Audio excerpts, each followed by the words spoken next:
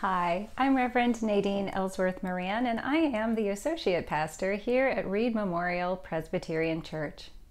Well, the wonderful and amazing thing is that no matter what else may be going on in our world, no matter our questions or troubles, we can always count on the gift of Sunday coming around every week.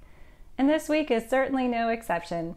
Sunday's coming, and we will be worshiping together, albeit virtually, but that makes us no less a congregation, no less a family drawn together in Christ.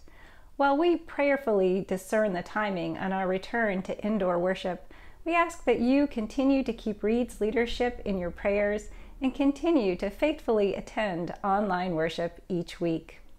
So we do rejoice that Sunday's coming.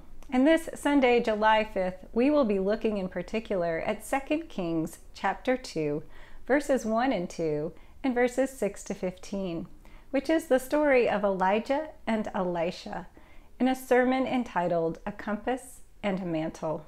So please join us online for worship this Sunday at 10:30 a.m., premiering live on Reid's Facebook page and YouTube channel, when we'll have an opportunity to greet one another virtually and share the peace across the internet.